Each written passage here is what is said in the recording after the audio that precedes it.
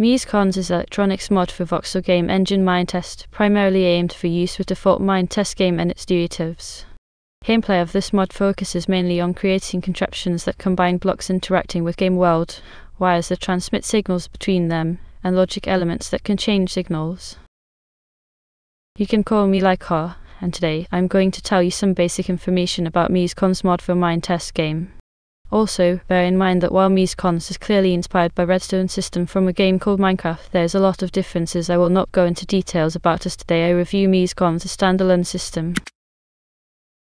Mesecons are nodes, or in other words, blocks that are divided into four main categories. Receptors that make signals, effectors that are doing something when they receive signals, conductors are relaying signals to connect receptors and effectors, and logic elements are acting as both receptor and effector and make signals based on ones they received. Let's start with conductors. The most basic conductor is mesecon wires that can be used to relay signals horizontally in four directions, plus are capable of going one block up or down. To relay signals vertically, it is better to use vertical wires that can do exactly that, or Mese blocks that can relay signal in all six directions. But sometimes, you need to have conductors really close without making them intercept with each other. For that, there's insulated wires that only relay in two directions based on book rotation, and insulated crossing, corner junctions that work similarly for other sets of directions. Next up, receptors.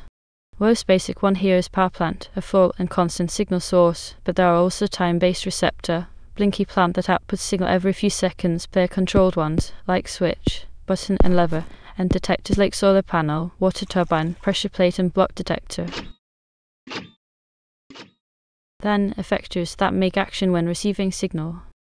They include lamps and lightstones that light up, no block that makes sound, pistons and sticky pistons that push blocks, mover blocks that move themselves and push blocks, remover stones and ghost stones that disappear, command blocks that execute server command, and default doors that open themselves.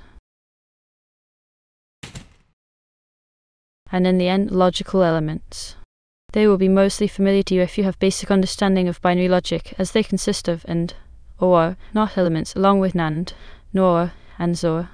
There is also a Lua controller that allows you to write your logic in Lua programming language, FPGA that allows you to put logic contraptions in one block, diode that only relays signal in one direction and like conductors, and delayer that allows you to delay the signal change for set amount of time.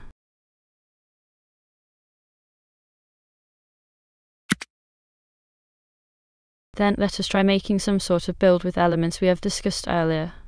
I decided to go by all-time classic 3x3 door. The concept is simple. Player activates switch, and 9 blocks originally blocking passage go out of the way, and when player deactivates switch, they are here again, blocking the way.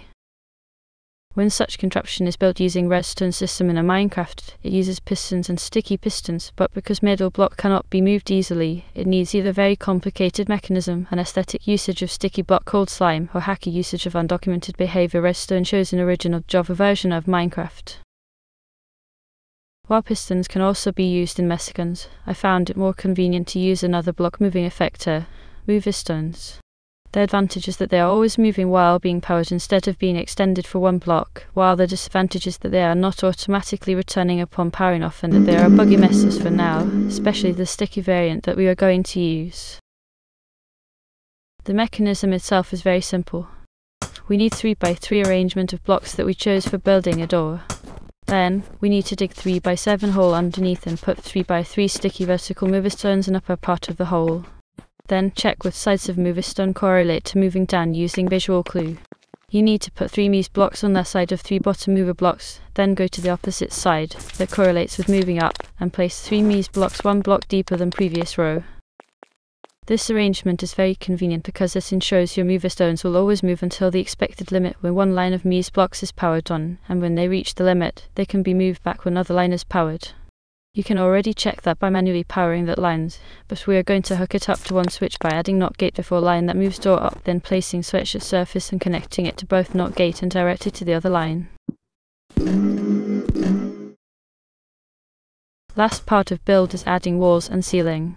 Please don't forget to ensure that in open position of door mover stones have one block gap below and enclosed one one block gap above, since in both cases sticky mover stones are trying to move every block connected to them from the sticky side, in our case, up and down. This fix is simple, but causes undesired effect of gap being seen by player when door is opened, which can be fixed by adding pistons or ghost stones that hide this spot right after opening door and then hide it before door closes.